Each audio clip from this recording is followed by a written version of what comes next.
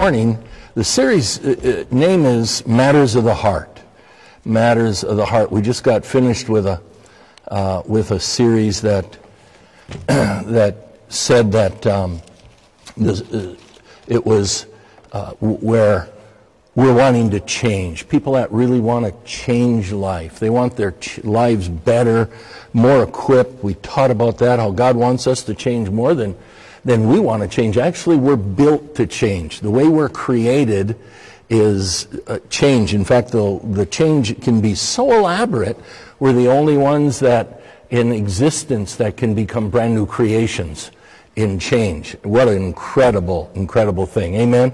God is brilliant. So praise the Lord. Let's go ahead and start out in prayer. Father, in the name of Jesus, as we open up the word of the living God, we thank you that you'll speak to us, Lord.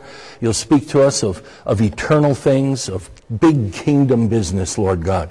You'll share with us, Father, issues that'll, that'll change our lives and cause us to grow and mature, that the blessings and inheritance that we've received in your kingdom comes to pass in our life, Lord.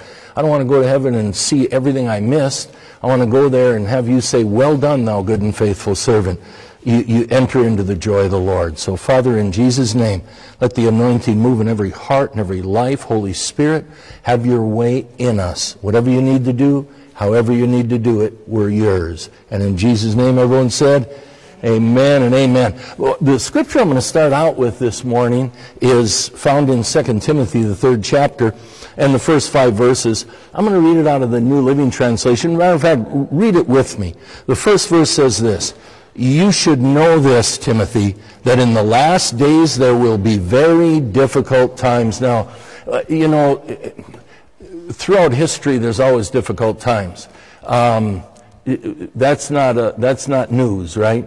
Um, doesn't matter what generation, doesn't matter what people, what country, what nation, what social group you're in, there's going to be difficult times, isn't there? But this is a little bit unique because it isn't talking so much about catastrophe, national disasters, catastrophes in that way that, that cause the problem. There will be. Jesus talked to us about that in Matthew 12, right? Uh, he said that, uh, that there will be um, uh, great stressful times with perplexity.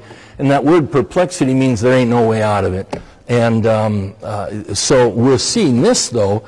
Uh, he says there's going to be difficult times. The word difficult in another translation is perilous. Um, uh, it also means insane. It means destructive. It means in a rage. So th- there's going to be very difficult, perilous, insane, destructive, and rageful times. And boy, weren't we seeing that? Man, people out in the streets and I used to, you know, I travel a lot of third world nations, and when I'd get into uh, uh, some of the uh, nations where, um, uh, especially of Islam, uh, they would, uh, they, if anyone would, like say in the United States, somebody would, I don't know, tear up a, a, a Quran. In their own nation, they would burn their own cars and they would loot their own stores. I always thought, what? What in the world is going on here? You're mad, so you're going to destroy your own stuff. You're going to wreak havoc on your own civilization here. But it's a spirit. And that's what he's saying here. Know this, that in the last days there'll be very difficult times. I always used to say, praise the Lord, it ain't like that in the United States, but lo and behold, uh, last year proved me wrong. It showed up here where they burnt down our own towns. They, they say, let's defund the police, right? They're like that's going to keep crime away. Uh, that's the insane they're talking about. It's insane times. I think I used the word insane more last year than I have all my life up until then.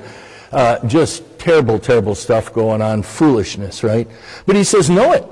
In the last days, there's going to be perilous, difficult, insane, destructive, rageful times. Let's start reading with the second verse again. Why is this? Now, it's again, it's not because of national disasters, natural disasters, I should say. It's not because of, you know, just uh, like just terrible, terrible storms or volcano eruptions or or, or uh, earthquakes.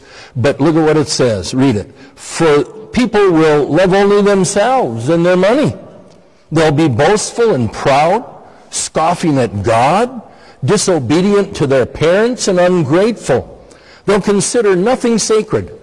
They'll be unloving and unforgiving. They will slander others and have no self-control.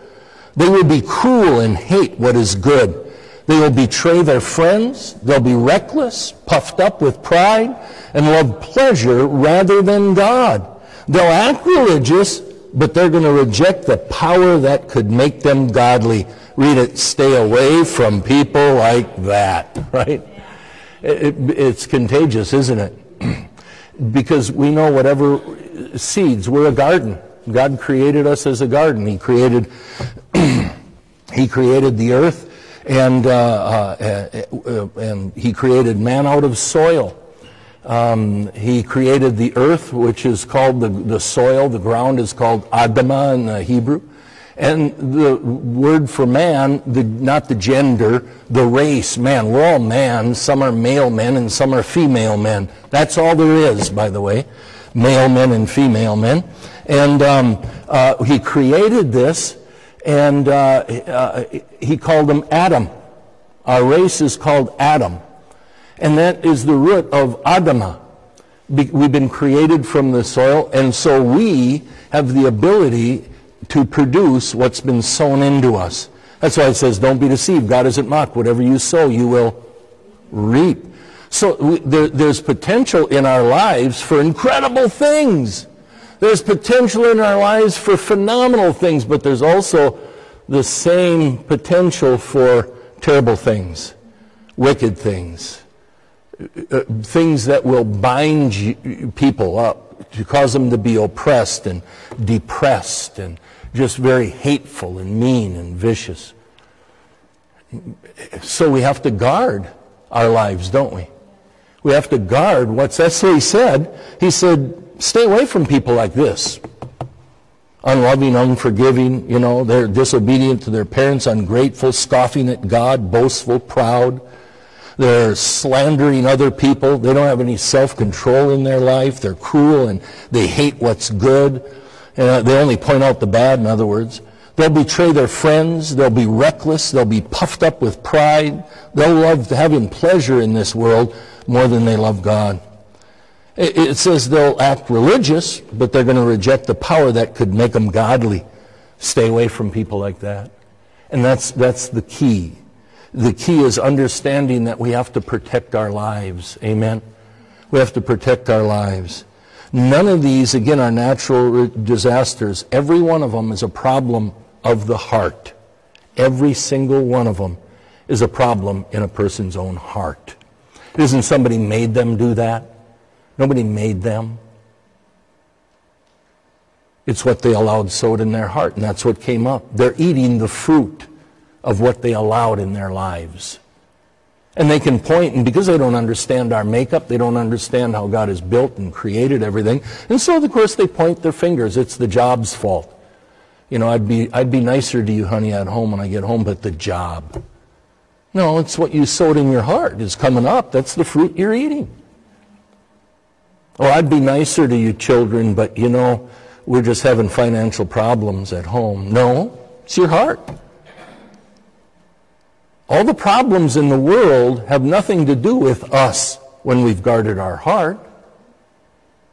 When we allow sown into our heart what's going to come up of joy and peace, amen, and love and goodness and righteousness, all that is going to come up. It's seeds sown. It isn't our great actions. It isn't the law, just you got to do. No, I'm just going to sow into my life and it'll grow. It'll come up. That's what's going to take place. This is God's plan. It was from the beginning.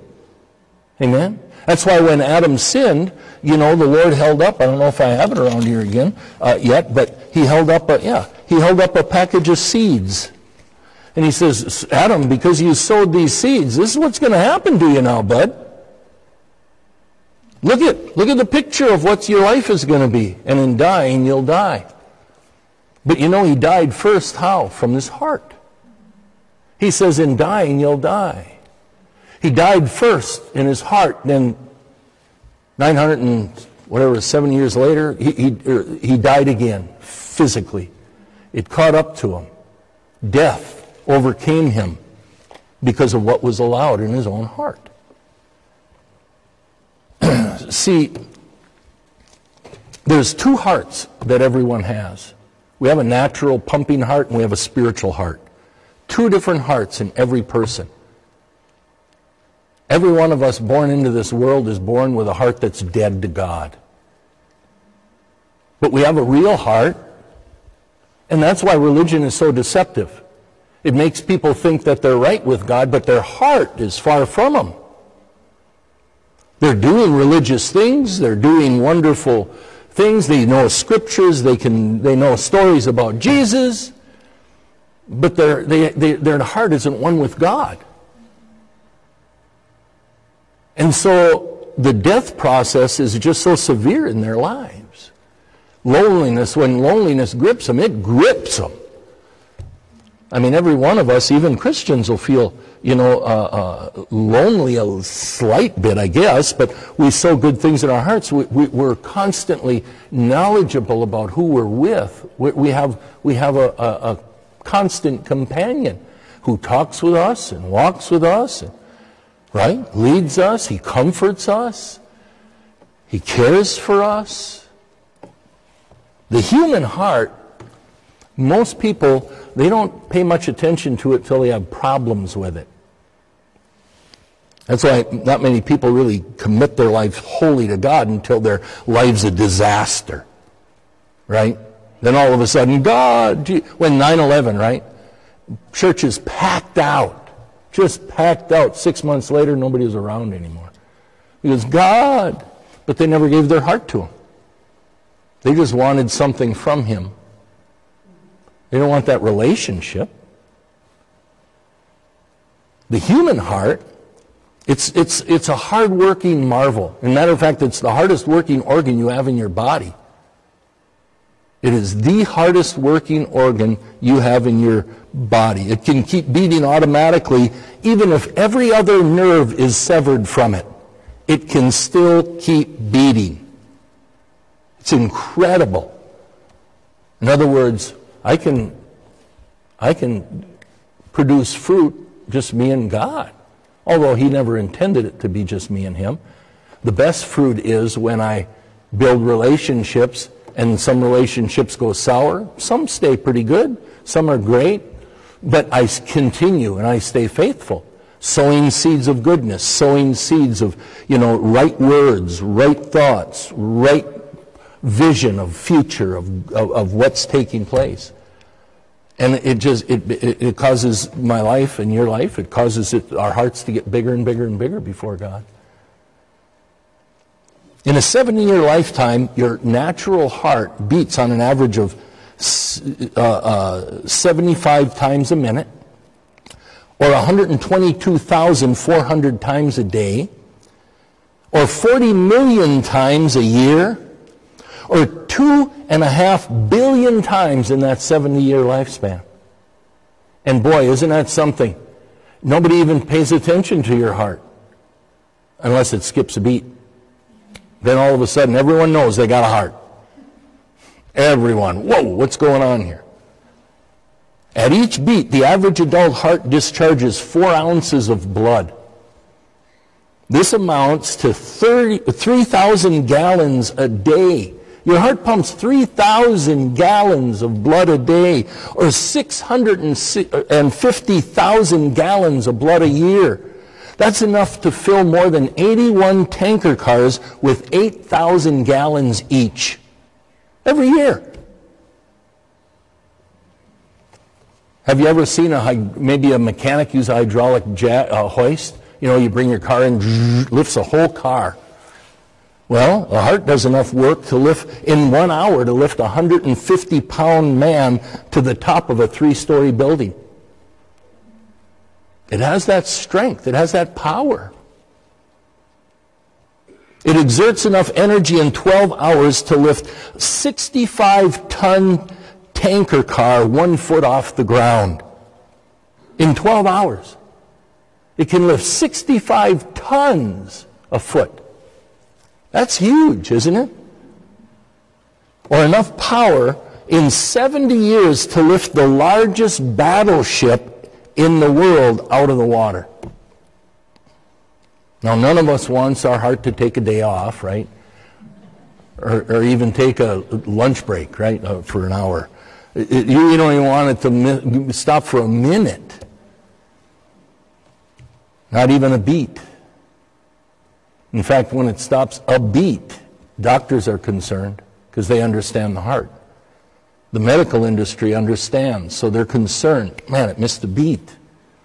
But most people, even Christians with a new heart, they don't understand why they should protect their heart.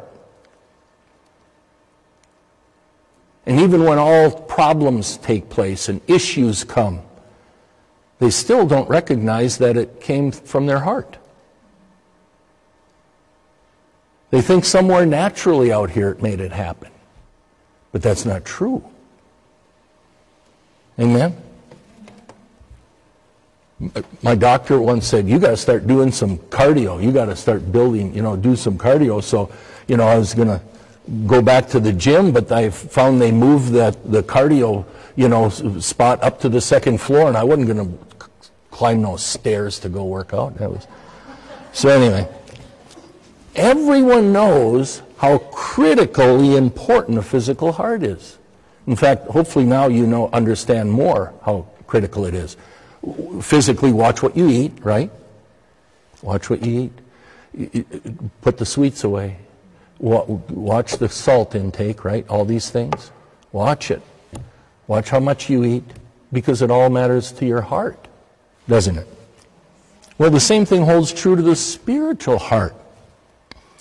Yet again, most people, they don't understand the importance of working with their spiritual heart to make it stronger and produce better.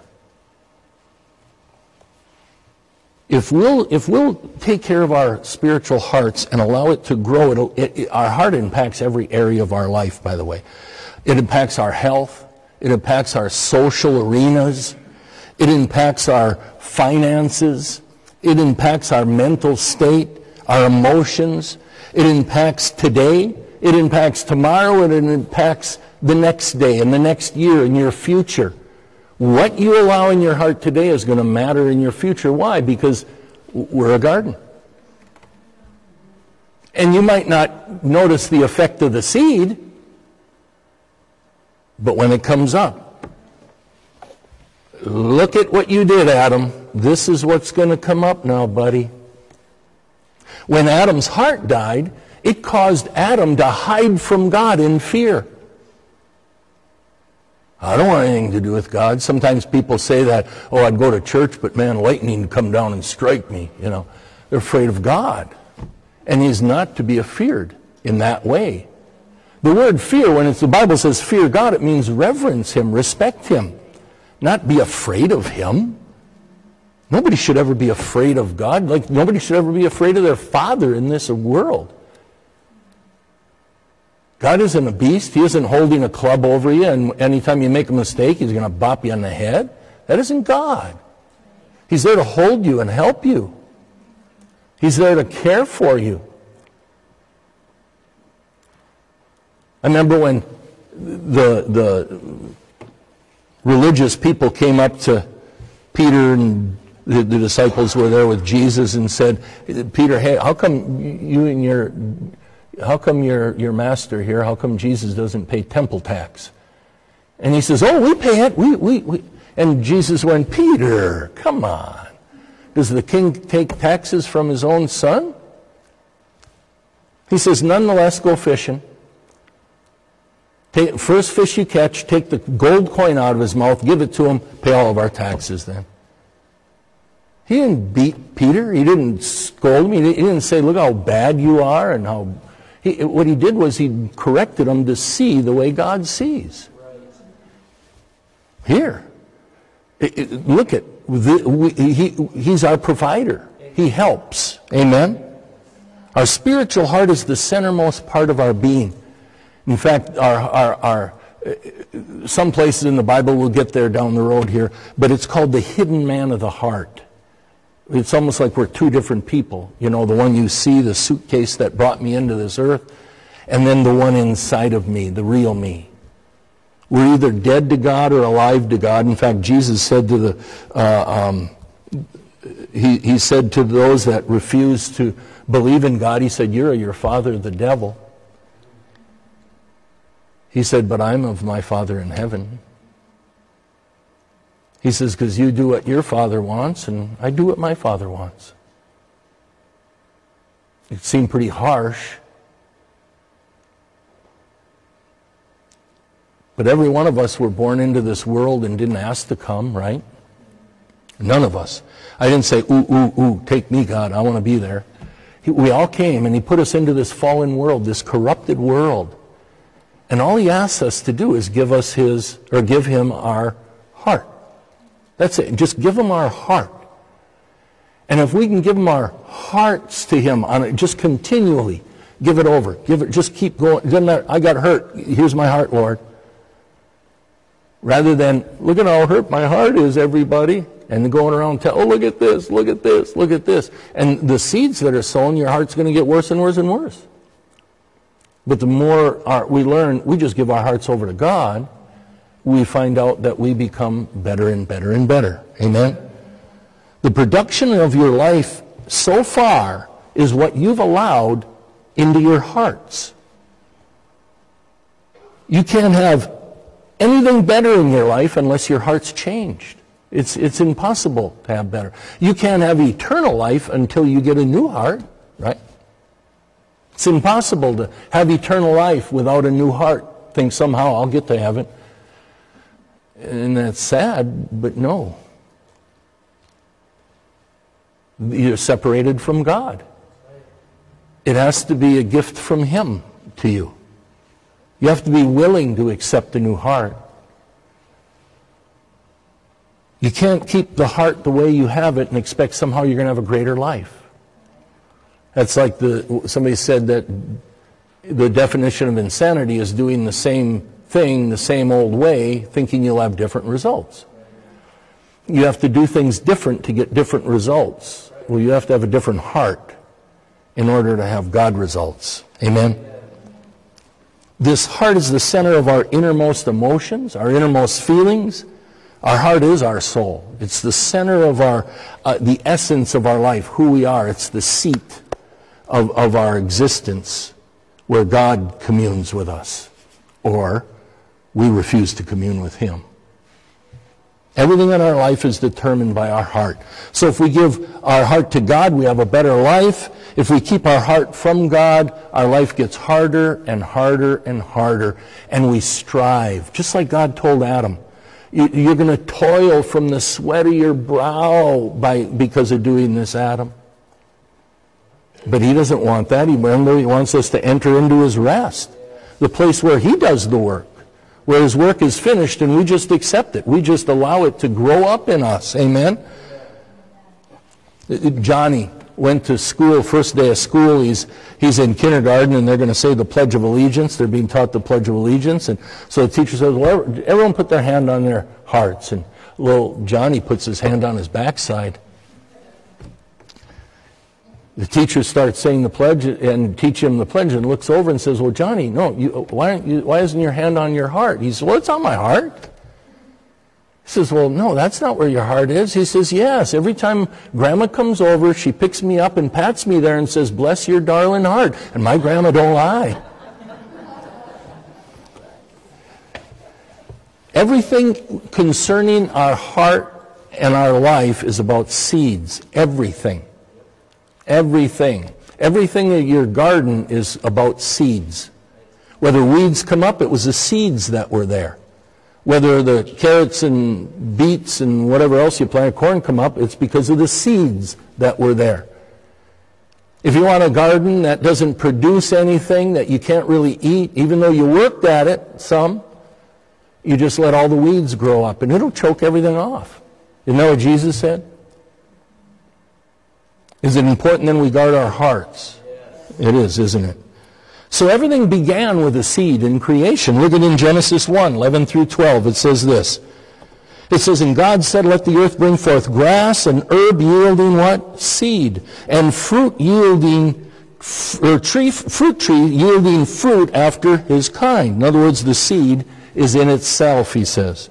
Upon the earth it was so, and the earth brought forth grass, and herb yielding seed after his kind, and tree yielding fruit, whose seed was in itself after his kind, and God saw that it was good. Now, if you took an apple seed, and I showed you an apple seed, probably should have grabbed one. It's too little for you to see from down there anyway. But if I took a little apple seed and I said, what do you see here? Most everyone would say, well, that's a seed of some kind. And if you, on close examination, most everyone would say, well, that's, that's an apple seed. But actually, if you understood the seed, you knew it's more than that. See, that little seed is really a tree. That, that little seed represents hundreds of apples. That little seed represents an orchard. That little seed represents thousands and tens of thousands of apples. That little seed represents jobs. That little seed represents factories. That little seed represents an, uh, an, economy that would grow and increase. Everything. God wants everything to increase, and it's all by a seed. That's what millionaires and billionaires understand that most folks that just you know, punch the clock. They, you know, they go to work and peel the banana and roll it in the chocolate and dunk it in the nuts all their life. Not understanding that, that life is a seed. Everything we do is a seed. And if I do it and I do it well, I'm planting, I'm sowing better seeds and fruit is going to come up. Somebody's going to have to take notice one day and cause you to grow, cause you to increase in that company, cause you to increase in your life. It's got to take place because it's the principle of the seed. You just have to have faith and patience. That's why the Bible says, through faith and patience we inherit the promises of God. It's through, we just keep doing what's right. And if we do something and it isn't right, then we change it because we guard the seeds we're sowing. Amen? Praise God. Number two is everything in this world is done by the principle of what? A seed. Everything in the world. Genesis 8 and 22. Read it with me. While the earth remains, seed time and harvest, and cold and heat, and summer and winter, and day and night shall not cease. As long as the earth remains, seed time and harvest, that, it, it's going to be the same. And we think, well, yeah, that's for, you know, those with the farms, right? They, it's, it's only the ones planting the big fields. So it's seed time and harvest. It's only when your garden. No, you're a garden. And there is seed time and harvest. It will not stop. It has to be that way. Number three, everything in the kingdom of God is done according to the principle of seed. We see that God created that way, eh, to be that way. We see the earth is that way in this world. We also see the kingdom of heaven, the kingdom that you really can't see. It doesn't come with observation because it's within us when we receive this new heart. But it's with the seed. Mark 4, 26 through 29, Jesus said, So is the kingdom of God as if a man should cast seed into the ground and should sleep and rise night and day, and the seed should spring and grow, and he knows not how. For the earth brings forth fruit of itself, first the blade, then the ear, after that the full corn in the ear. But when the fruit is brought forth immediately, he puts forth the sickle, because the harvest has come. The ground produces whatever seed is put into it. It's the seed that determines what will be produced, it's the ground that determines how it will be produced. It can be produced in an abundance. How? Well, you till the soil, you aerate it, you water, right? You pick the rocks, you pick the weeds out, and you're going to have a harvest of a, a, a glory crop, right? The big, just an incredible crop. But if you leave the rocks, you don't aerate it, you don't water it, and you let the weeds grow, your crop is going to be, it'll be the same seed, but the seed isn't going to produce that much. In fact, sometimes it won't produce enough to eat yourself. But God wants us to produce, not for us. He wants us to produce, he says, so we can give to every good work. You know what the Bible said? He wants a production in our life so everyone can find blessings. It just flows from us to bless, to bless, to bless. God isn't here to curse anybody. In fact, when he created Adam, he created him to bless, and he didn't curse him. He said, Adam, you did this. And then even after all the world became corrupted and it was destroyed at Noah's time, uh, uh, what did he say? He, he, he, said the exact same words to Noah after everyone's destroyed. The, the uh, Noah's Ark lands on the mount in Ararat and um, he, they come out, they give sacrifice, and the Lord then blessed him and said, be fruitful and multiply and replenish the earth. Same thing he told to Adam. He said he blessings, the same blessings. How can anyone curse who God has already blessed? He couldn't change his mind. He says, I'm not a man that I should change my mind. Here, we see if our hearts become if our hearts become callous toward God and more friendly and at, at home, you should say, with the things of this world, the less we'll produce of the blessings that God wants for us. It's just that way. When, you're, when we give our heart to Jesus Christ, we're, we, we are given a new heart. When we came into this world, we came with a heart that's dead. It was a heart, an inner man, but it was dead to God. We were living physically, but we were dead spiritually. And in Ezekiel 36, 24 through 27, it, the Bible says, For I will take you from among the heathen and gather you out of all countries, and I will bring you into your own land. Then, read it with me, then will I sprinkle clean water upon you, and you shall be clean from all your filthiness, and from all your idols will I cleanse you. A new heart also will I give you, and a new spirit will I put within you. I will take away the stony heart out of your flesh, and I will give you a heart of flesh. In other words, a malleable heart, one that can be used by God, that can be used in the hand of God, we could say. The 27th verse says, And I will put my spirit within you and cause you to walk in my statutes, and you shall keep my judgments and do them. Not by my great effort, by continually sowing seeds of his goodness into my heart. And that's going to come up. My actions will follow. Those that their actions aren't really following God, it's because of what's been sown into their hearts. And sometimes people give their life to Jesus but don't really commit themselves to him. They pray a prayer. They say, okay, one day I can go to heaven, but uh, let me just stick with the world let me just, you know, do what I've been doing. You, you can't do that and change your life.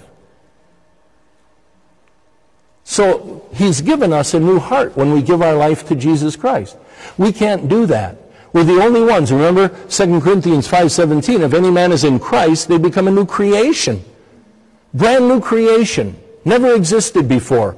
A kainos, not a neos, not reupholstered, redone, not an old jalopy that you, re, you, you, that you redid and, and, and made it look new. No, brand new, never existed before. A kainos. You became a new creation where old things pass away and all things become new. In fact, it says behold. It says old things pass away, behold. And the word behold means look and see. I'm to look and see not at the bad things to pass away. I'm to look and see at the new things that are becoming new. I'm to constantly look to the good, the new things. The, the good, better, best. Amen. Our school motto. Good, better, best. I'll never rest until my good is better and my better is best. And that's giving our life over to Him and what we're doing. Whatever you find your hands to do, do it as under the Lord. Amen. Do it all your might on February 24th. Oh, see, you know, no, no, no. Uh, this new heart, how does it come? How does this new heart come? 1 Peter 1.22. It's, it's still the principle of the seed. All this is, aren't you seeing this? The principle of the seed. 1 Peter 1, 22 through 23, it says, Seeing you have purified your souls in obeying the truth through the Spirit unto unfeigned love of the brethren, see that you love one another with a pure heart fervently. Why? Being born again, not of corruptible seed, but of an incorruptible, by the Word of God which lives and abides forever. So the, it's the Word of God that is sown into our hearts. I'm so, I get to sow seeds into your hearts. When I did, uh, uh, um, when I was doing, I was on secular radio. Um, I didn't do Christian radio at the time. I just did secular radio. I thought that's where the people need to hear it the most. And it was called The Sower Sows the Word. And that was me. I was just sowing seeds into people's lives. Man, the effect it had.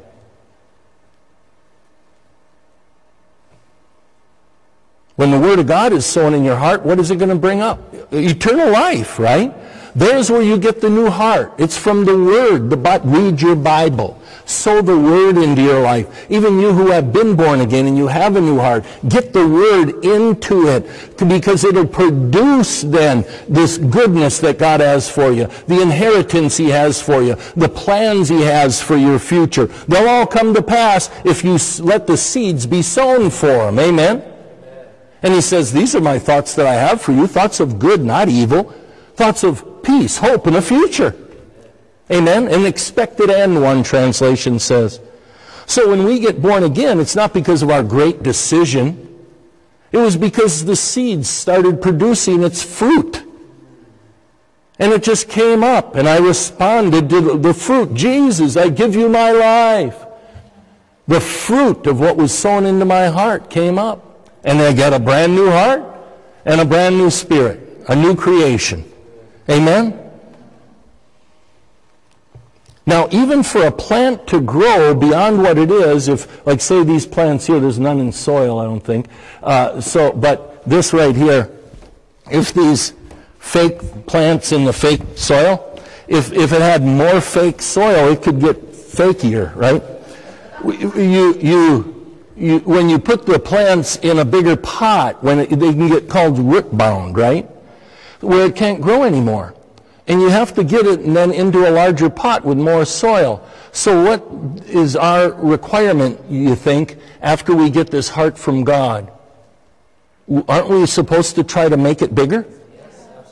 You do that by loving the unlovely, forgiving those that have offended, or not bringing them up, not talking about it. And he says those people we're supposed to run away from. We got to love them, we got to forgive them, and we get a larger heart.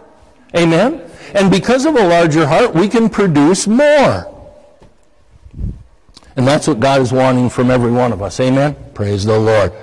So on, on February 24th, 1948, uh, it was one of the most unusual operations that have ever taken place at Ohio State University Department of Research and Surgery.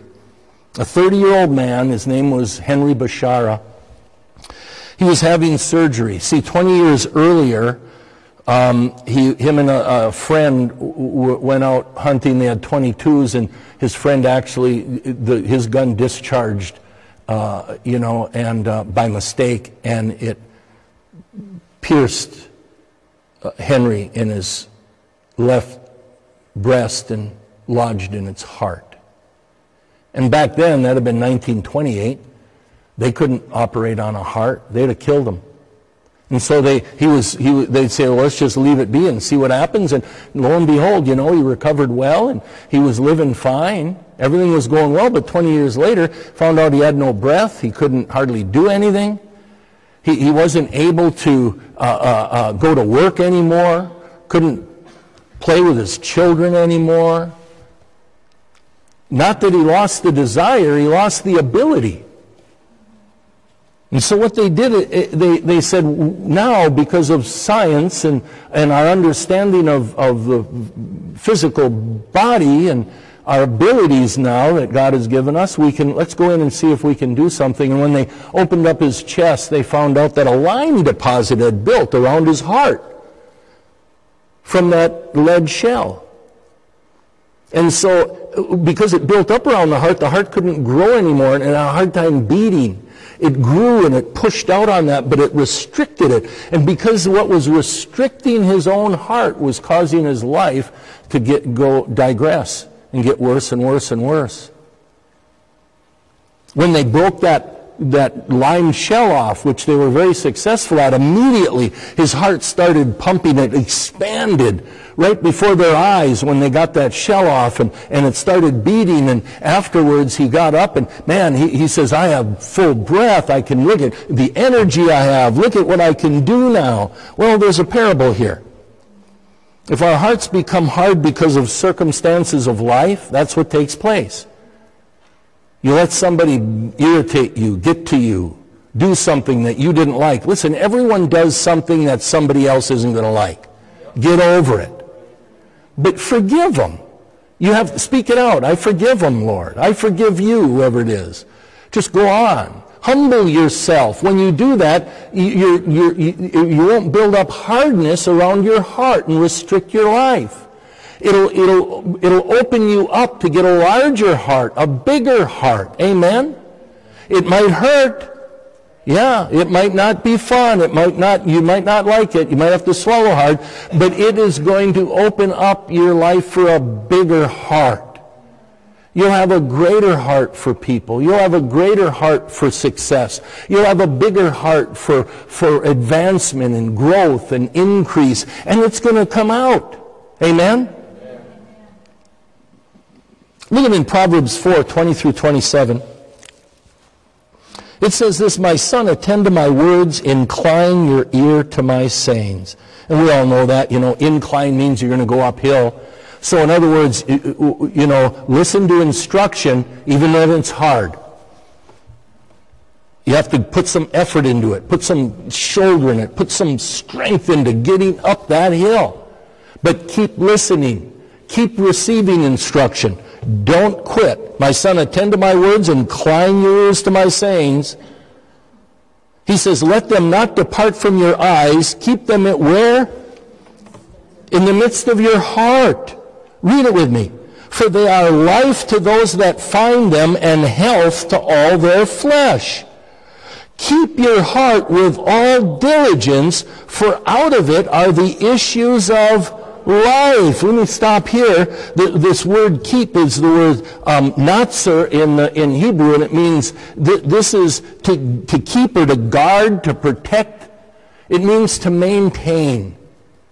I, I have to be more concerned about my spiritual heart than anything else in this world. It's not a selfish thing. In fact, it's totally opposite. If I'm not willing to guard it, keep it, and maintain it, uh, I'll quit, give up, and back away. I'll quit doing what God's asked of me. I'll stop being who He needs me to be. I'll quit blessing people. I'll start cursing them, saying bad things rather than good things. Which let no corrupt communication proceed out of your mouth. Amen. Ephesians 4. Only that which is good to use to build up. Amen. Amen. Our heart Read 23 again. It says, Keep your heart with all diligence, for out of it are the issues of life. And then he goes on to say, How do I guard, keep, and, and, and maintain it?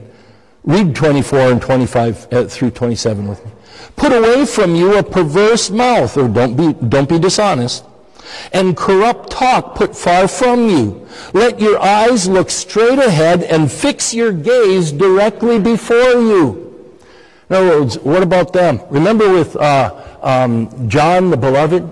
Or, uh, you know, John? He, when, when Jesus rose again from the dead, you know, um, uh,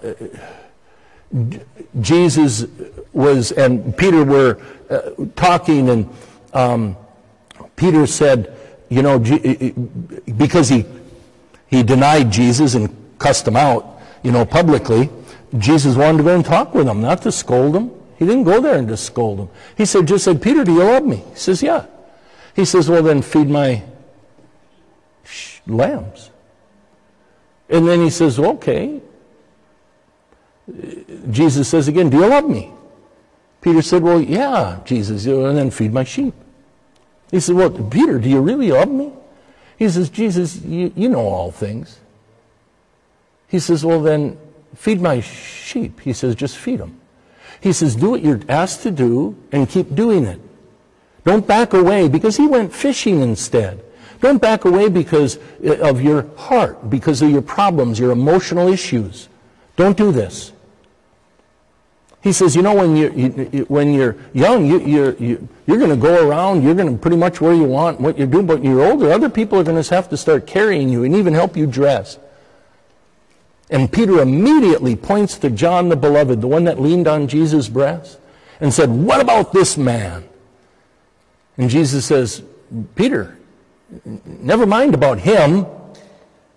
You take care of you. Yes. You. What about them? It's like children in school, you know, one or, or even on a football field now it's football time you know and you see somebody that say that they, they sort of get into a spat out on the field and the flag is thrown and one person gets a penalty for what's that called? Anyway they're they're not playing right you know. No just whatever. Some kind of a penalty and uh, where they're you know they're, they're it means that they they didn't act right unsportsmanlike conduct. And immediately that other that guy is going to do well, then pretty much say, "What about him?" Wrong response. Wrong response. Jesus says, "No, let, let your eyes look straight on." Straight ahead. Fix your gaze directly before you. What you do is going to affect you. Other people have no bearing on it. Nothing. Zero. Zip. But if you get your eyes on them and, oh, get an attitude, oh, man, in the locker room, yeah, you know, they should have got that too. And what are they doing? They're sowing these seeds of into their life that are going to produce more anger and hate and issues. They're going to make millions of dollars and lose them. Rather than making their finances and learning how to make that work for them and grow. And we see that all the time. That's why he says, let your eyes look straight ahead and fix your gaze directly before you. By the way, you know how much I know about football now. So, 26th verse. Read it with me. Ponder the path of your feet, not somebody else's, your feet. And let all your ways be established. Turn not to the right hand or the left. Remove your foot from evil. Amen. Uh, Proverbs 4:23 in the Jewish Bible says, "Above everything else, guard your heart for it's the source of your life's consequences." That's the truth. Having a right heart isn't going to guarantee you're not going to have problems. Everyone's going to have problems. But the outcome from the, after those problems can either be success, increase, promotion, wealth, or the outcome can be bitterness, worry, fear, less, in, decrease, losing your job, losing your stuff. It's up to us. Amen? Because it's all on the principle of a seed. You got to get this. Life is about seeds. In the natural, it's, it's bad to have an enlarged heart, but in the spiritual realm, God wants us to grow a bigger heart. Because then we'll have more place for production, right? Better fruit, more fruit. Amen?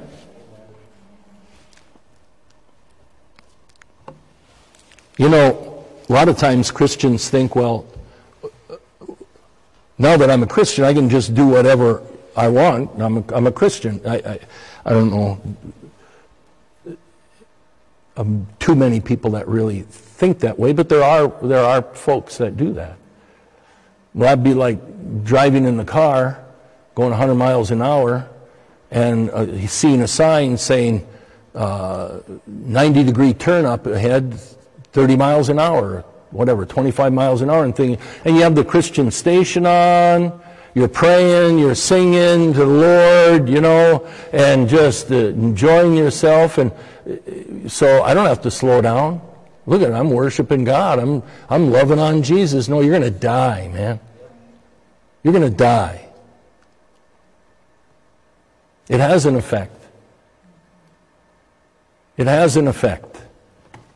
Just because you're a Christian doesn't mean you're exempt from the hardships of problems. I can go through problems, but I don't have to have the hardships of them.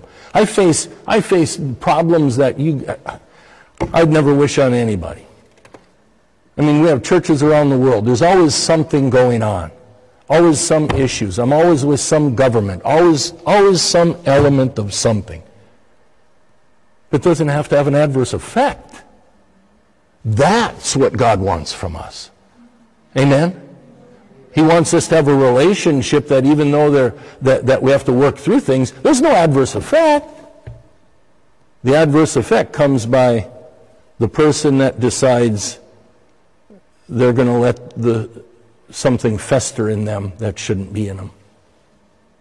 And that's why I told you here weeks ago the strength of any relationship is always in the weakest person, not the strongest.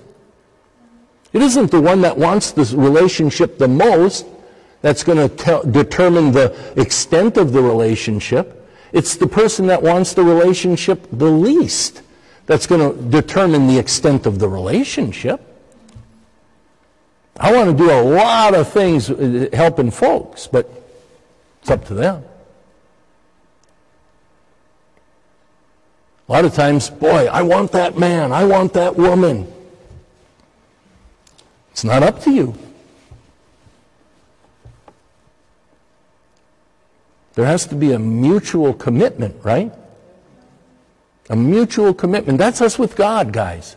There has to be a mutual commitment for you to get everything out of the relationship with God that He really wants to give you. He's not the one. It wasn't him that hid from Adam in the garden. It was Adam that hid from him. Adam, where are you? Where are you, Adam? He said, I'm hiding because I'm afraid. Who told you you're afraid? He allowed weakness to be sown into him. And it came up. In Psalms, the 119th chapter, look at this. I love the 119th chapter, by the way, the longest chapter in the Bible. And uh, it is probably the greatest chapter in the Bible. Uh, it is wonderful. It talks so much about His Word and God's Word and, and, and the life that we get from it. But listen to what it says. I cling to your testimonies, O Lord. Do not put me to shame. In other words, all the good things I'm hearing about you, I'm clinging to it. All the good things. That's why testimonies are so important among us. The good things God's doing, right? Keep talking about the good things that God's doing for you. Get around people that only want to talk about the good things God's doing. Only be around them people. Remember what we read over here, 2 Timothy? Don't be around the people that scorn. Don't do that. Be around people that with the good testimonies, the blessings, the greatness of God. Because that's going to sow the seeds that are going to bring up in your life what God actually wants from you. It's not by might, not by our power, not by our strength. It's by the Holy Spirit. Amen? So he says, For I cling to your testimonies, O Lord. Do not put me to shame. Read it with me. I will run the course of your commandments, for you shall enlarge my heart. Amen? What a what a uh, incredible, incredible uh, um, bit of wisdom. It cause, it'll cause our lives to break forth. It'll cause our lives to just be open to let the blessings of God flow and His will be done. Amen? The, the cheetah is the fastest animal on the earth. The cheetah can run 70 miles an hour. But see, it has a little issue. If it doesn't catch its prey in the first one minute of the chase, it has to stop and quit. Why? Even though God built this animal with such a body that it can run 70 miles an hour. Man.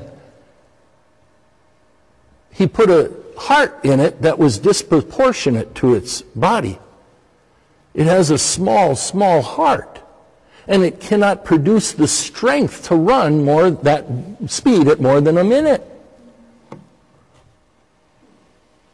Sometimes Christians take off in a flurry. Yeah, let's go after God. You know, let's do this, let's do this. And nothing wrong with that.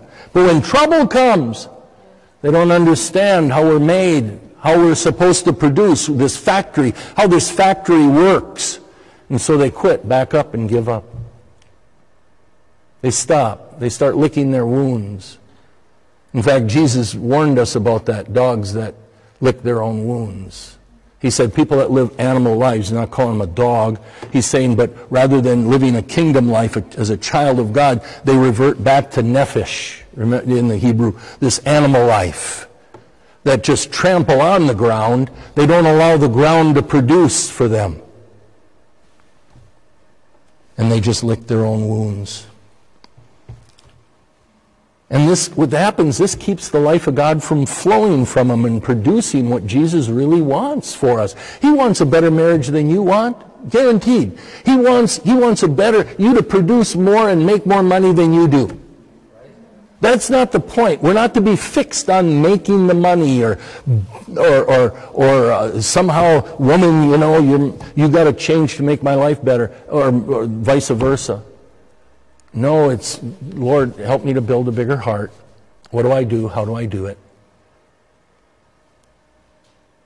And in doing that, all of a sudden, things are going to really take place. When I first moved here to Merrill, I, uh, the Lord spoke to me.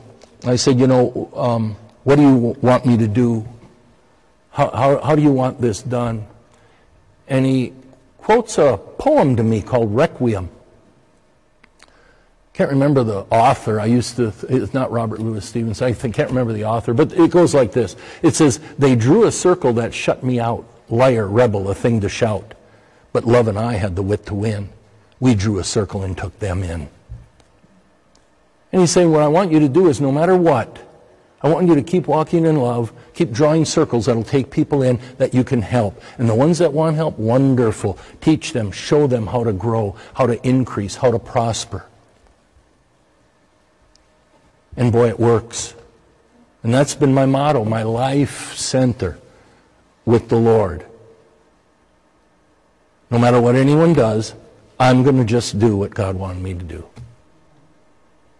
In 2 Corinthians 4, 16 through 18, somebody shout amen. Help me preach this thing. There you go. Praise God. 2 Corinthians, are you getting something from this? We're, we're about done here. 2 Corinthians 4, 16 through 18, it says, read it with me. Therefore, we do not lose heart. Now, when we lose heart means we give up. We quit. Forget this. I don't have to take this. I could have probably said that a thousand times since I've been here. No, I don't have to. I get to. Just like giving. I don't have to. I get to. And if, if that's in our, my giving of finances, it's also in giving of my life. I don't have to. I get to because I know what God has in store. He says, therefore, read it, we do not lose heart, even though our outward man is perishing, yet the inward man is being renewed day by day. For our light affliction, which is but a moment, is working for us a far more exceeding and eternal weight of glory. While we do not look at the things which are seen, but at the things which are not seen. For the things which are seen are temporary, but the things which are not seen are eternal. That's what I want to keep producing, eternal life. What God had in store, what His intentions are, what He needs. And man, it's beyond what we could ever uh, ask or imagine. Ever. Amen. Giuseppe Garibaldi, an Italian military leader. He lived from 1807 to 1882. He was considered an Italian national hero. He personally led many military campaigns and brought about the formation of what's called the unified Italy. Otherwise, it was like little different countries, these regions. He was dubbed the hero of two worlds in tribute to his military expositions in South America and in Europe. When appealing for recruits for his army, here's what he said, quote, I offer neither pay, nor quarters, nor provisions, I offer hunger, thirst, forced marches, battles, and death. Let him who loves his country with his heart and not with his lips only follow me. Boy, I'm not likening them to Jesus, but it sounds like Jesus. Jesus said in Matthew 15, 8 through 9, These people draw near me with their mouth and honor me with their lips, but their heart is far from me. And in vain they worship me, teaching as doctrines the commandments of men. It's our hearts that he wants. When you get born again, giving your life to the Lord, becoming a Christian isn't because I go to church. Just like if I go into the garage, didn't make me a car. It's my heart. It's my heart given over to him. Jesus, only you. Letting him give me a new heart. And then, Lord, you have the instruction manual. Help me work with the heart you've given me. How do I make it bigger? How do I have it produce more? How do I build bigger heart treasures? How do I allow my life to change the way I see things in the world to just totally change to how you see them? How do I allow my, the relationships that I have uh, uh, have peace and, and, and unity? How do I allow you to come and bless people with signs and wonders and miracles? It's only by a spiritual gift. I'm not all that in a bag of chips, see. It's just continually, no matter what, Jesus, here's my life. Jesus told his followers, followers, remember, pick up your cross and follow me. Amen? We're going to have communion right now. Did you get something from this? So, in order to have communion, we need to be Christians, right?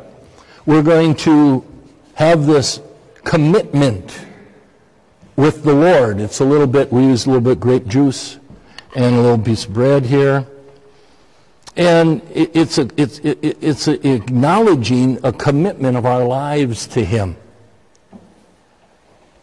When Jesus was in the upper room, remember, he took bread and after he had given thanks, he broke it and he said, Take and eat. This is my body which is broken for you.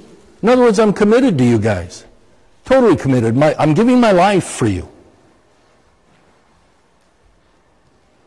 This is, my body's broken for you. Not him, for you. And in the same way, he took the cup, and after he had uh, drank a little bit, he gave it to his disciples and said, Here, drink all of it. This cup is the new covenant in my blood. My body will be broken for you. My blood is shed for you. I'm, I'm, i will redeem you from the power of darkness and bring you into the kingdom of light. I'll translate you. I'll transform you. I'll redeem you, renew you, revive you, restore you. That's why he came.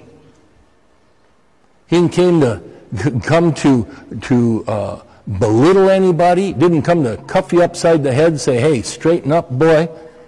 He came to say, if you will give me your heart, watch what I'll do in you. Watch what I'll do in you. And so we see the chapter before that in 1 Corinthians, you know, uh, in the 10th verse, uh, uh, or in, in, the 10th chapter, and um, uh, 14th verse, he says, Wherefore, my dearly beloved, flee from idolatry. I speak to wise men, judge what I say, the cup of blessing which we bless that's where we, why we toast at marriages, by the way, because of this practice. In Christianity, we toast them. The cup of blessing which we bless. And we, we declare blessings upon their, their life at a meal, a covenant meal that was given. And he says, the bread which we break, is this not the communion of the body of Christ? To bless means I'm partaking of the blood of Jesus. Anything else, stay away from.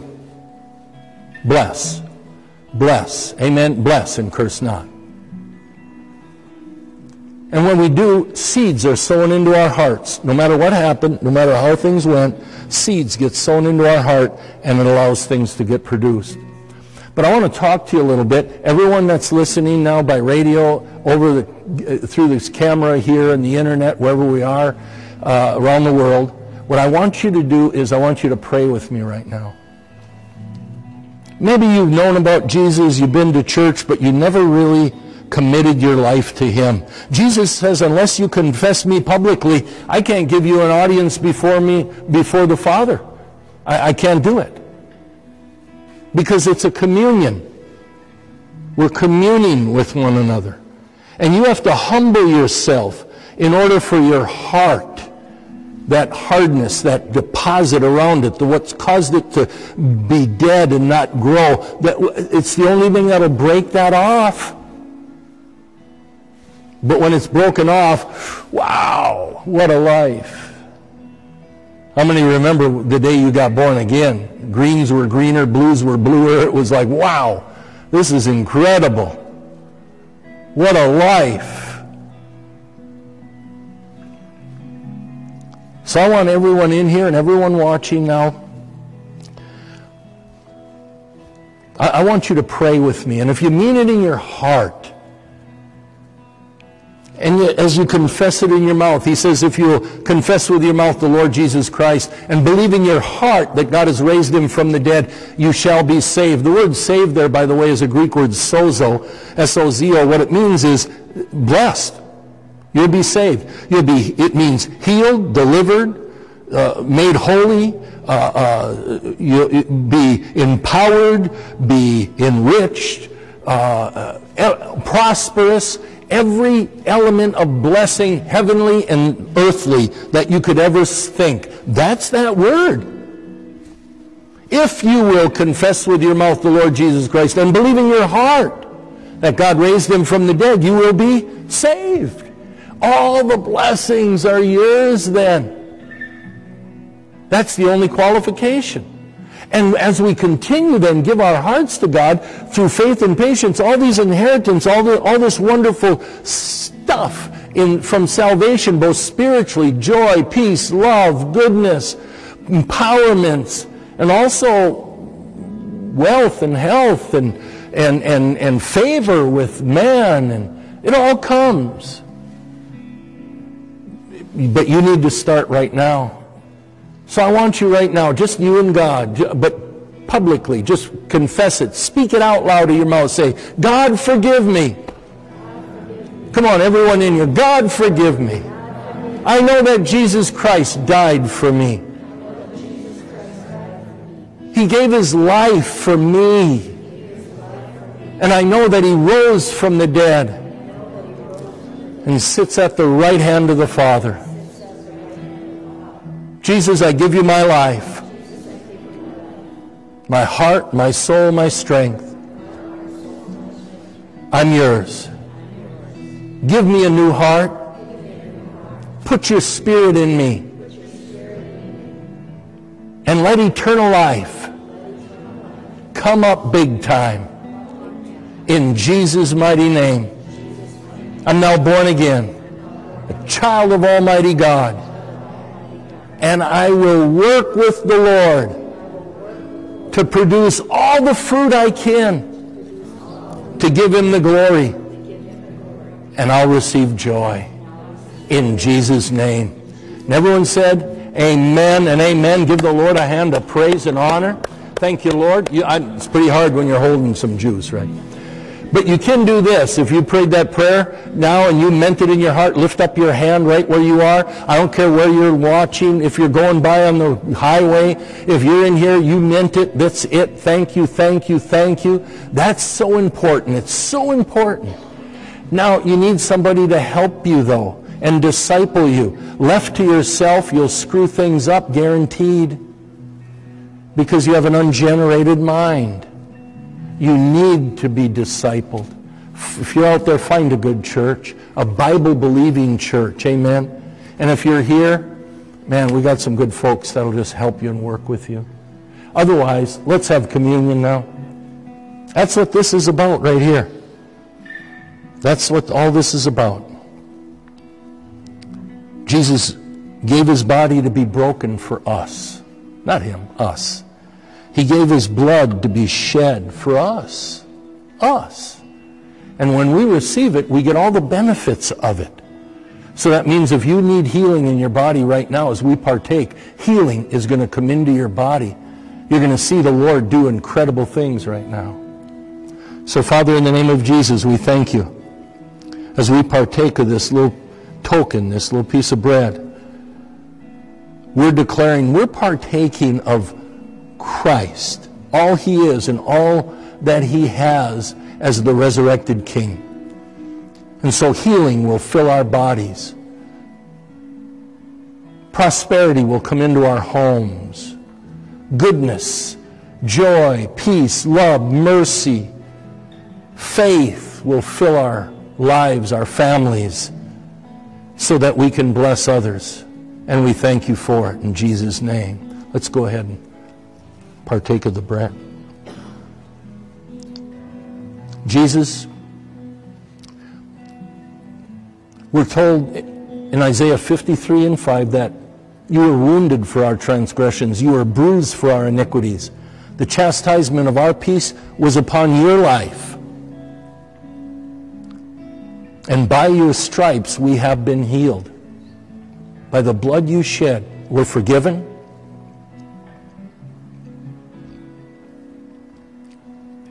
You were scolded for us. We don't, we, we, we don't get scolded. We get loved. We get cared for. We get blessed. What a deal. There is no other covenant ever that could ever do what the covenant of your blood has done. And we thank you for it in Jesus' name. Everyone said, Amen. Praise the Lord.